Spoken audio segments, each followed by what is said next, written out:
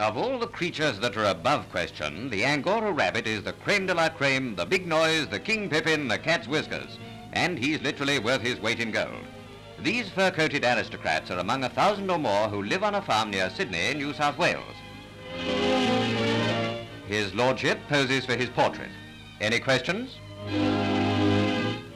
A perfect dandy, his coat is brushed several times a day to prevent it from becoming matted, and it's even parted and fanned.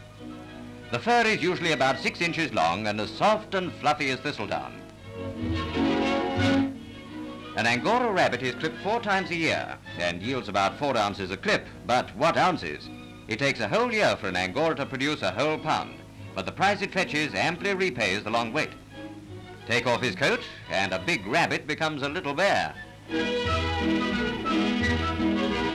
Much of the fur is hand-woven, especially the pure white variety that's the pride of the albinos, the angoras with the longish ears and pink eyes. A quarter of an ounce is enough to make a beautiful scarf. Bunny and baby may be two of the softest things on earth. The big difference is that the bunny sometimes sleeps in the early hours. Gotcha. Any questions?